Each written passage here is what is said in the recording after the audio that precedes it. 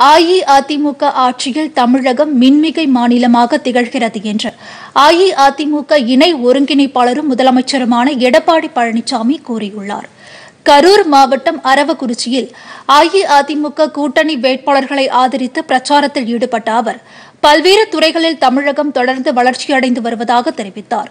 குடிமராமத்து பணிகள் துரிதப்படுத்தப்பட்டு நீர்நிலைகள் மேம்படுத்தப்பட்டுள்ளதாக அவர் கூறினார். தொழில்துறையில் தமிழகம் மிகச்சிறந்த முன்னேற்றம் அடைந்துள்ளது என்றும் அவர் குறிப்பிட்டார்.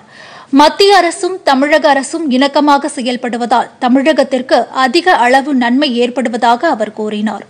காவிரி பிரச்சினைக்கு தற்போதைய ஆட்சியில்தான் தீர்வு காணப்பட்டதாகவும் அவர் தெரிவித்தார். தமிழகத்தில் சாலை திட்டங்களுக்காக ஒரே கட்டமாக ஒரு லட்சம் கோடி ரூபாய் ஒதுக்கீடு செய்யப்பட்டுள்ளதாகவும் எடப்பாடி பழனிசாமி கூறினார்.